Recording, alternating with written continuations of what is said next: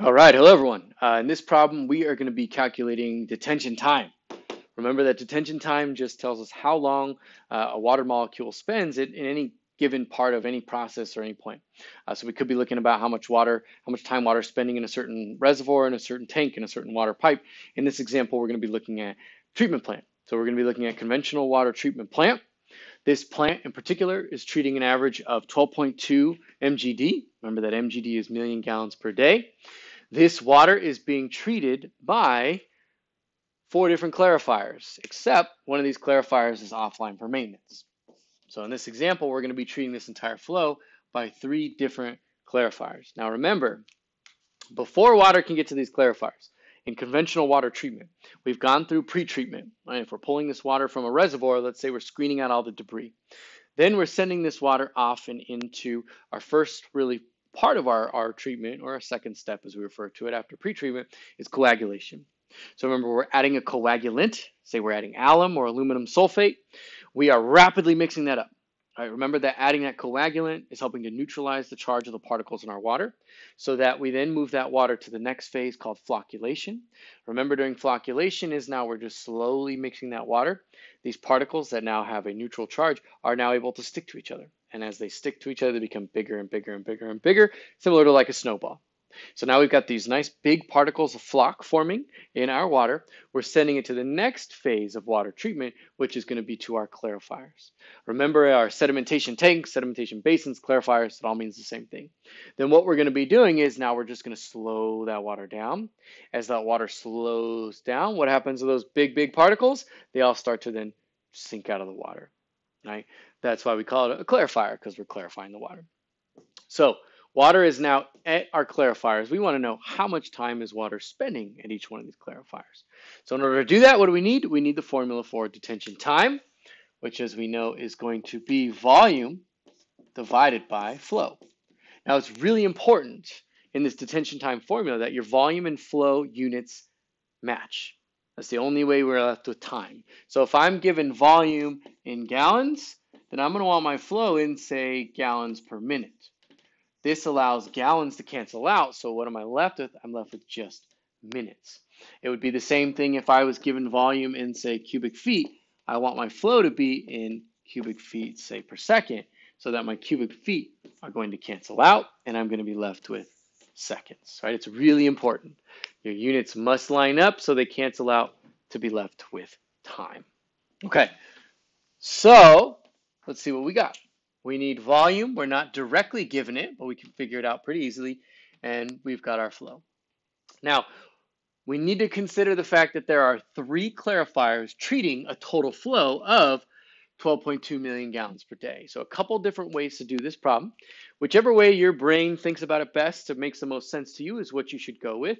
In this example, I'm going to say that, you know what, one clarifier is treating a third of that total flow.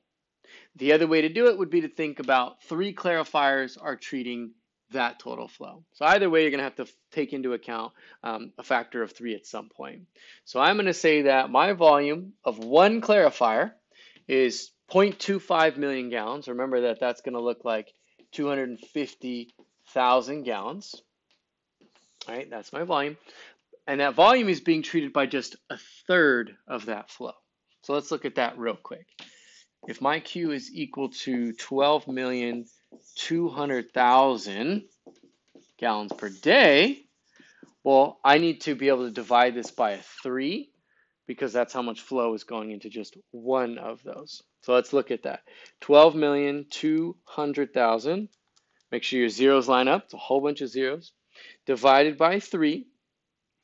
And that's going to give me a flow rate of 40 a whole bunch of sixes. One, two, three, four, five.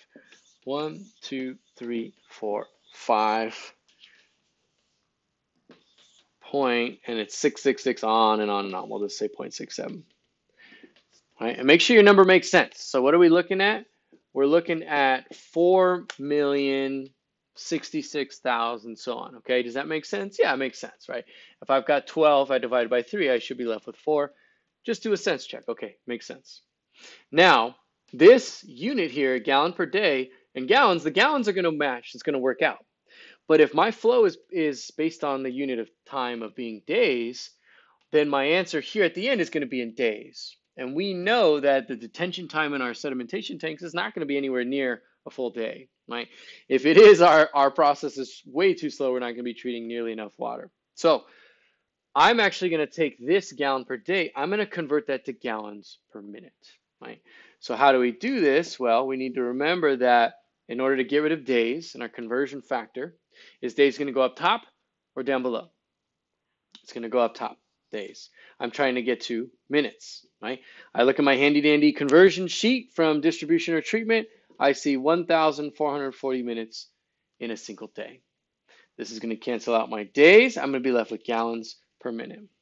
So now I take the 4,066,000, da, da, da, I'm going to divide that by 1440.